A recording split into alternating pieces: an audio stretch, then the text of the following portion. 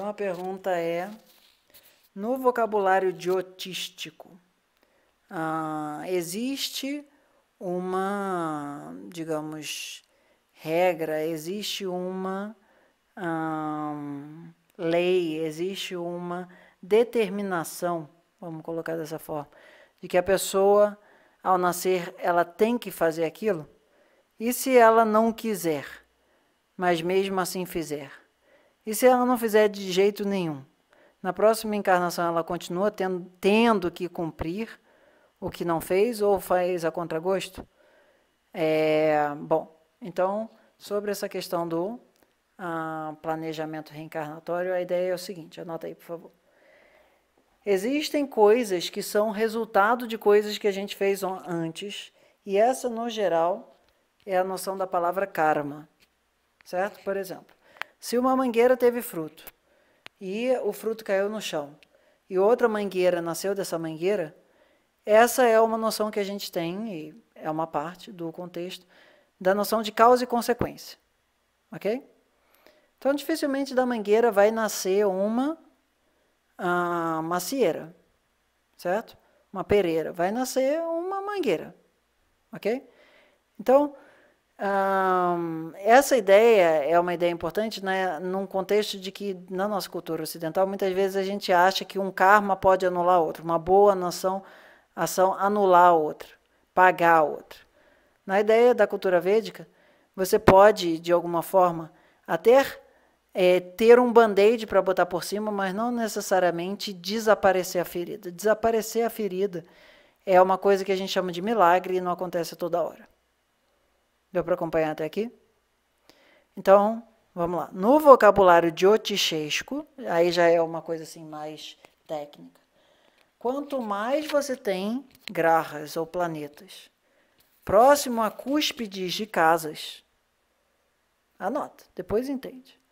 Quanto mais você tem grahas próximo a cúspide de casas, mais tem que fazer aquele negócio. Ok? A cúspide é como se fosse o centro de força da casa. Por exemplo, se você está no hospital, ok? E você é uma cirurgiã. E você está dentro da sala de cirurgia. Se ali você disser para a pessoa que não vai operar, o tem que ali é muito mais alto do que se você está no hospital, mas está saindo do hospital e tipo teu celular está desligado.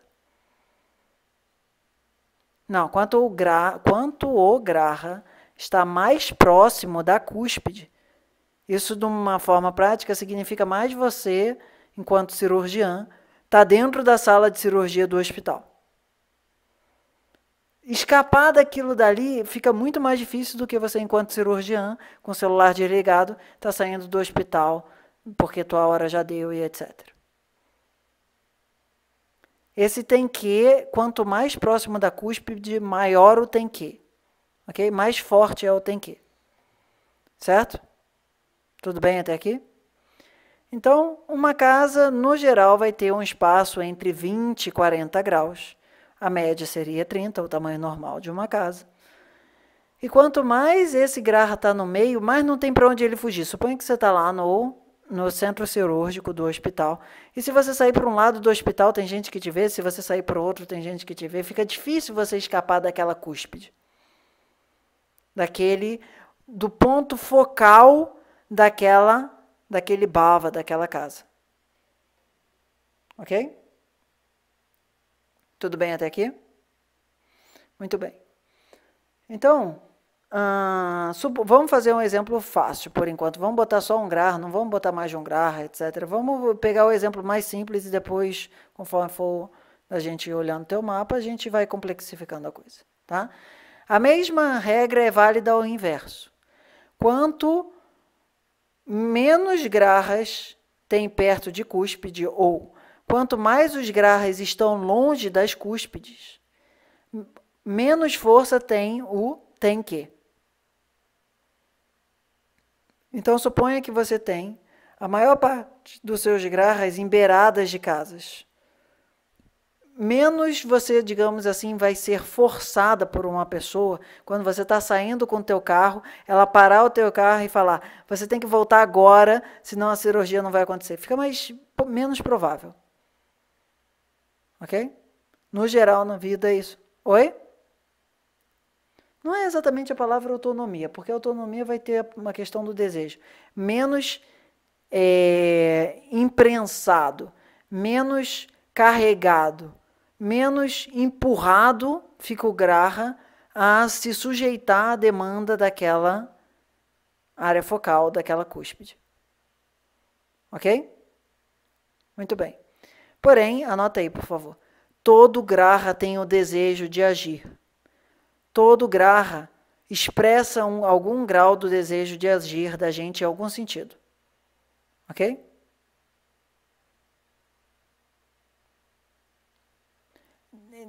Um desejo inato da gente de agir.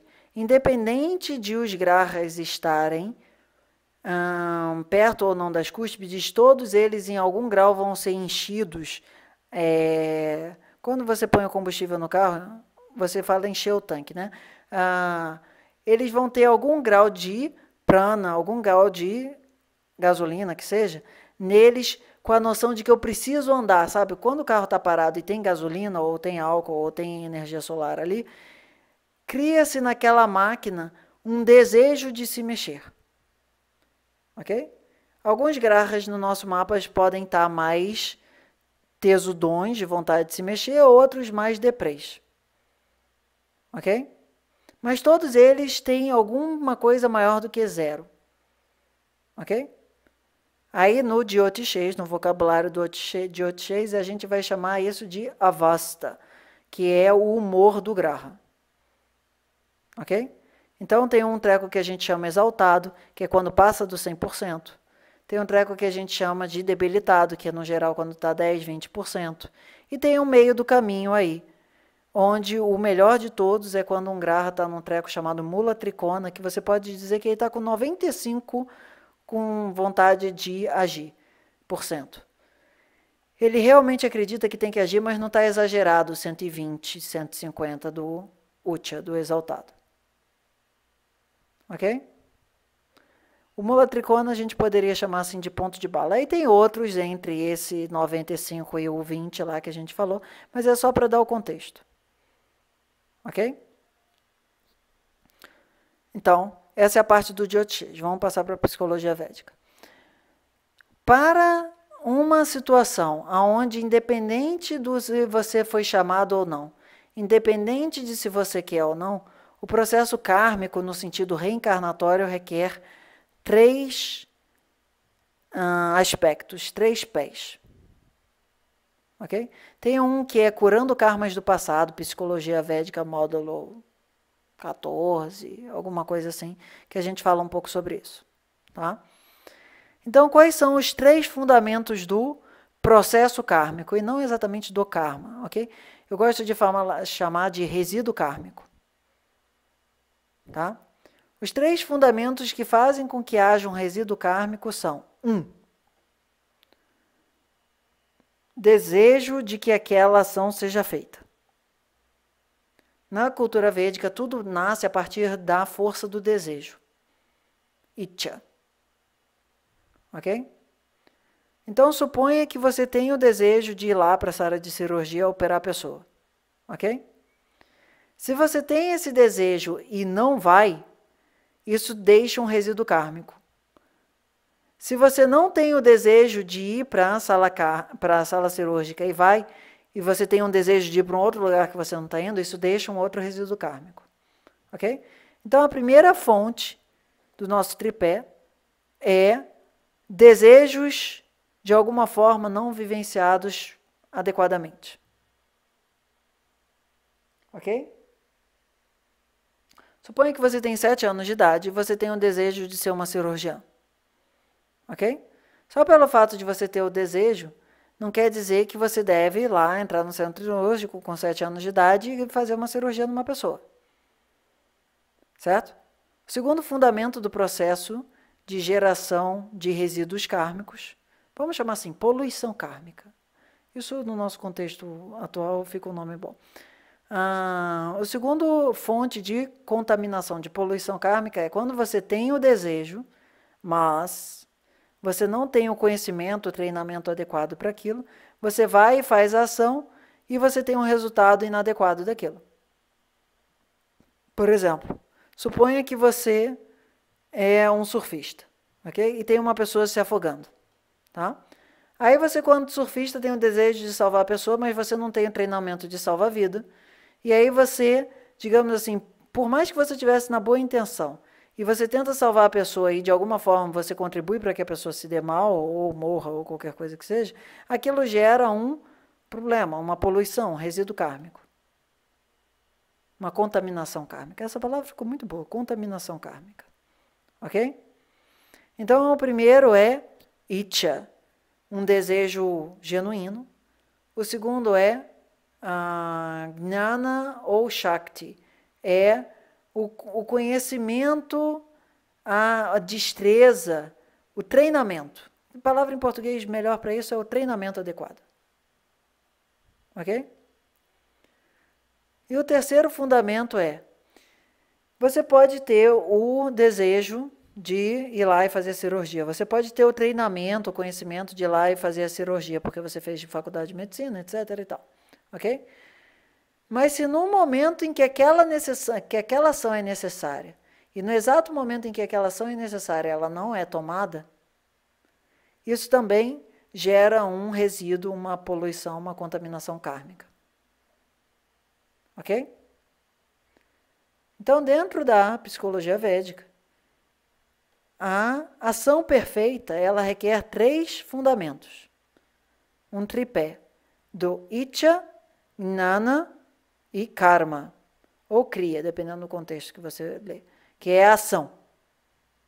Ok?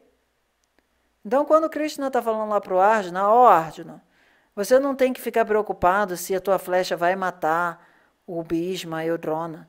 Você não tem que ficar preocupado se você vai vencer a guerra ou se a guerra vai ser vencida. Você só está aqui porque você, em algum momento, teve um desejo de lutar essa guerra. Há uma, duas semanas atrás, você estava jurando que queria essa guerra. Então, ela está aqui na tua frente. Você foi treinado plenamente para ser um general nessa guerra. Então, você tem o gnana, você tem o devido treinamento.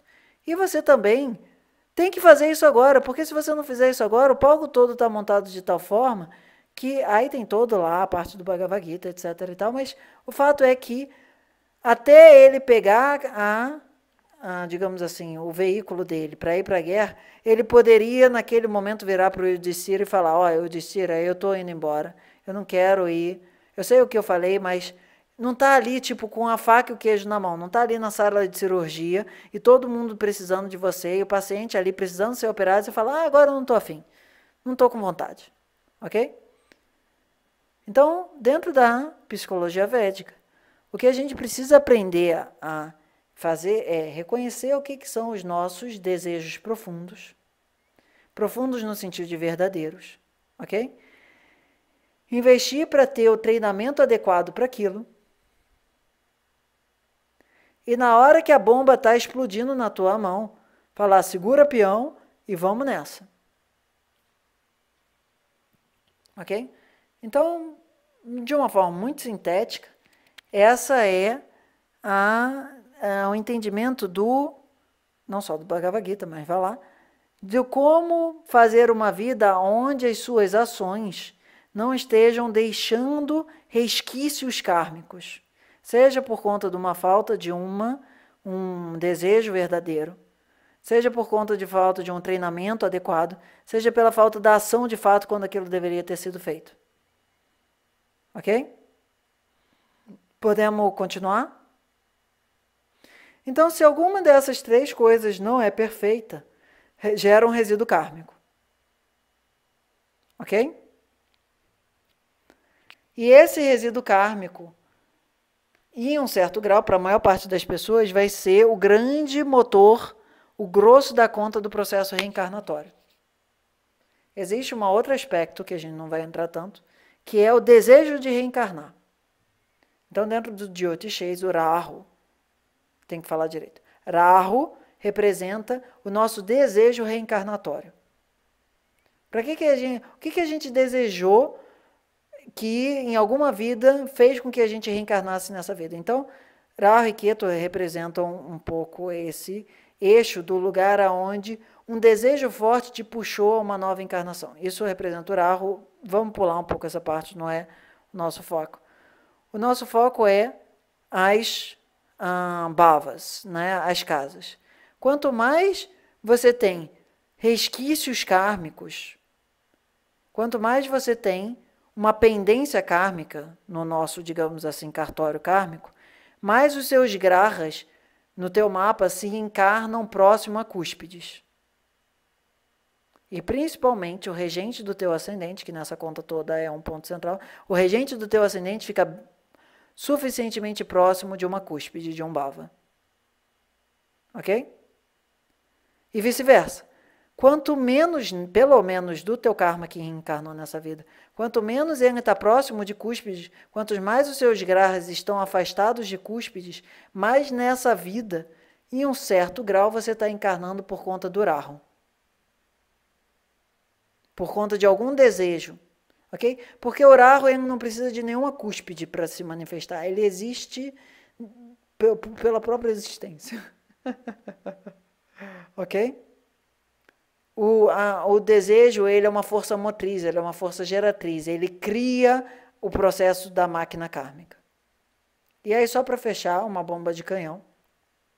Um, dentro do Jyotish, é dito que o Keto na casa 12, e por definição Rahu na casa 6, ele tende a expressar uma relação onde a pessoa está próxima a alcançar moksha, mukti, libertação, iluminação ou qualquer coisa que seja.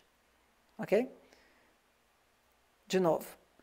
Rahu na 6. É meio que eles são 180 graus de distância. Ok? Isso expressa uma das, um dos segredos da iluminação que é quanto mais nessa vida o teu desejo maior é servir. E quanto mais você abre mão dos resultados da ação mais o teu desejo de servir é na 6. E mais você tem a capacidade de ver que os resultados da ação não são seus, isso é quieto na 12, mais próximo você está. Estou a dois passos do paraíso. Mais próximo está de moksha, da iluminação. Ficou claro? Vamos aos comentários.